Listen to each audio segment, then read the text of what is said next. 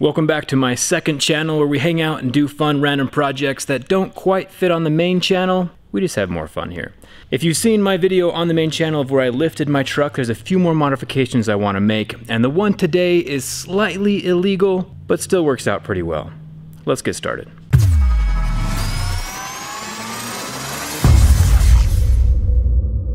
So when I'm talking about illegal, I'm not talking about like street legal or road legal or anything like that. It's more of a trademark issue. So Toyota has these grills for the front of the trucks, and there's a trademark obviously on the name Toyota. There's different styles of grills you can swap out, and the style of grill that I want Toyota sells for about 400 bucks. But I found one online that's a copycat or like an imitation Toyota grill that sells for about 100 bucks. So it's kind of hard to justify spending 300 extra dollars on the genuine Toyota part when the copycat one does the exact same thing. And there's no like performance increase or anything with the truck, it's literally just a piece of plastic. So today we're going to find out if the imitation grill is any good and if it even fits on the truck. It's interesting to see how it ships because putting the actual name Toyota on there would be illegal. So on the grill itself they have the OYOT and then you have to put the letters on yourself so it doesn't get stopped when they import it. Kind of creative. Now that we have all the letterings on, let's see how hard it is to remove the old grill.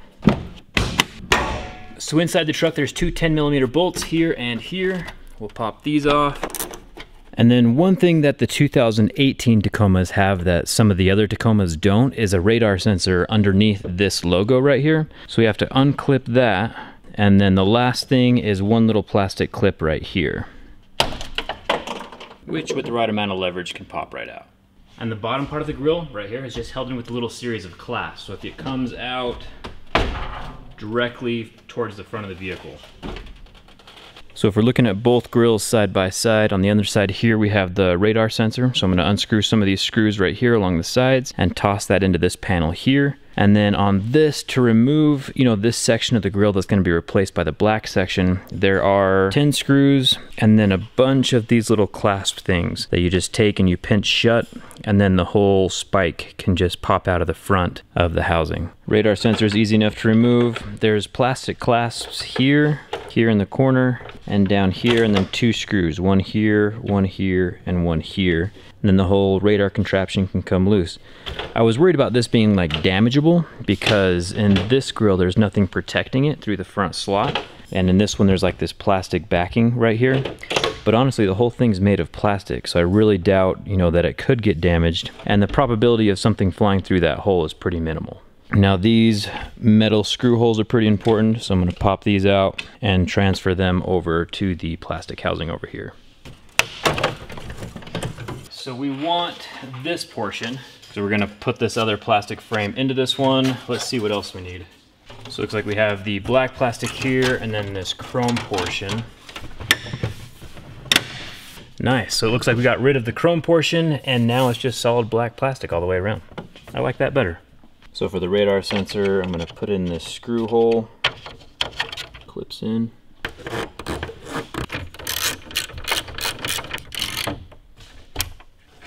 So we have one plastic clasp up at the top of the radar housing and then one over here on the top of the grill as well. And I'll probably just end up cutting this one off so it's not dangling around back here.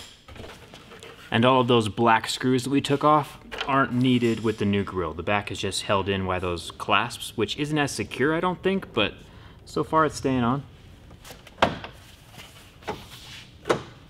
And now it is installed on the truck.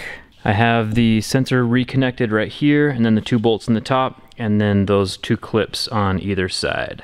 Okay, so quick update. I've been running this grill for about a couple months now and everything is 100% okay unless it is snowing or raining outside. If you look closely, there's a couple little holes inside of this honeycomb mesh where water can get inside on the sensor. And when the water's on the sensor, a warning pops up inside of the cab saying that it's like out of order or not functional for a time. But once it dries off, then the sensor goes back to functioning like normal. So in the vast majority of the time that I drive my truck, it's okay. But with other brand new 2018s from the dealership, they come with this little panel right here, which I'll also link down in the video description right below this. And so when I tried to remove this section of the grill, I actually had to break the plastics that go on top of it. You can see the two little broken parts on the part that's closest to you. And these two little pins right here, right below the Toyota logo, snapped off of the old honeycomb piece. But what I'm hoping is that this new honeycomb piece, which doesn't have any holes in the grill, is able to block out all of the water that might touch this sensor on the inside. Um, it's just got these two little slots and then the two pins up top. One last little pin up top.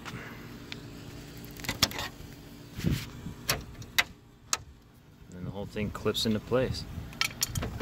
And it's pretty solid.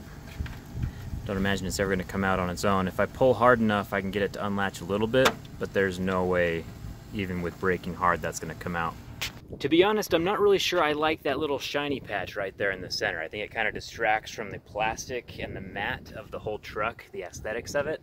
So if you don't mind your sensor going off when it's raining or snowing, which actually is probably when you need the sensor the most, maybe you don't need the uh, clear shiny protector for it. Last and hopefully final update. I'll keep the video description active with any updates after this, but when I put that cover in front of the sensor, it did take a while for the computer inside of the truck to realize that there was a new obstacle in front of the sensor. So it would work for like the first five minutes of a drive and then turn off and have that warning sign pop up again. But after about five or six days of that, I assume that the sensor recalibrated itself and now that warning never pops up anymore. And the sensor is functioning. I did test it out, you know, coming close to another vehicle and then having that warning light pop up. Anyway, so that is the update. Everything is currently working with the new block in place. And uh, that's it. So what do you think? Is it worth the hundred bucks to get rid of the chrome and add the Toyota logo instead of just, you know, that little emblem? Or would you have paid $400 for the actual factory version instead of paying $100 for the imitation? Let me know down in the comments. I'll put a link in the video description so you can compare the prices of the aftermarket, you know, the copycat one and the real genuine Toyota part. And if you haven't seen the truck lift kit yet, I'll put a link for that right here, as well as come hang out with me on Instagram and Twitter. We have fun over there. Thanks a ton for watching, and I'll see you around.